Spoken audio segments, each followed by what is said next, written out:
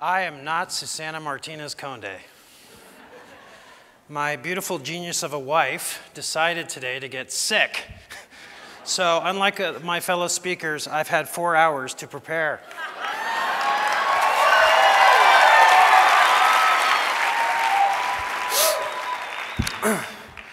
Susana and I are neuroscientists at the Barrow Neurological Institute, and we study how magic works in the brain.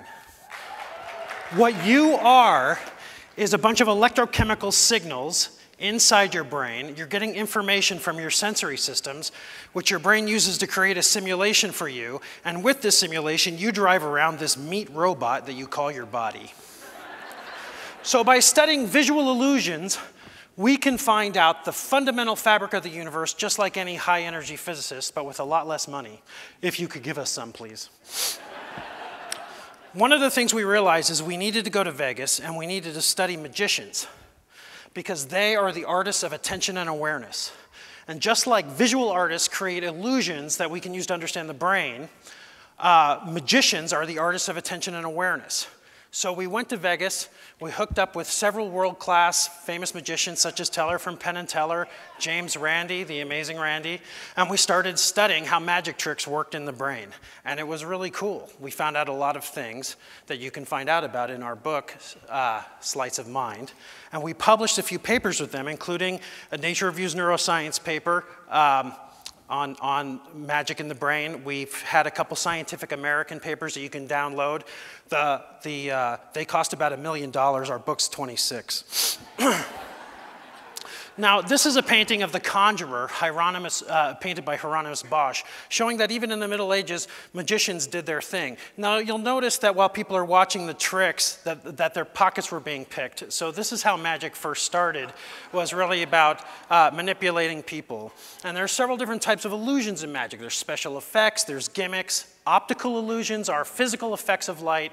Visual illusions are things happening in your brain that are very interesting to neuroscientists. And then, of course, there are cognitive effects, such as misdirection, which is really about how magicians control the attentional spotlight, such as this young woman in blue talking to this young woman in green, but really paying attention to the chocolate cake. Here is a great illusion that allows you to see your attentional spotlight. Fixate in the very center in the green dot, but pay attention to the upper right circle in the Venn diagram, and it'll get brighter uh, than the other circles. Another great illusion is if you take a look at these faces here, you'll notice that magicians do this as well. They use their face in order to distract you from the fact that the little girl has six fingers on her right hand. This is Tom Mesereau, the, the martial magician, and he is showing you the cups and balls trick. And one of the reasons magicians do this is because they use it to distribute your attention. They do three balls and three cups in order to keep you on your toes at all times, in order to keep you from paying attention to what exactly they're doing. And the bottom line here is that multitasking is a myth, and magicians know it, and that's what they're doing. They're trying to get you to multitask, and by doing that, since you're going to fail, they can do a secret move while you're paying attention to the wrong thing. For your life, this means that you shouldn't allow your children to text and drive.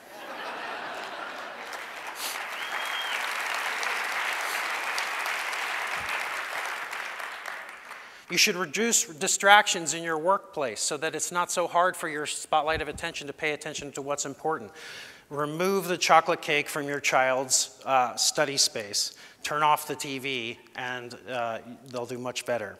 At the same time, don't pay attention too much, tunnel vision, to one specific thing, or you might miss out on some of the great opportunities in your life.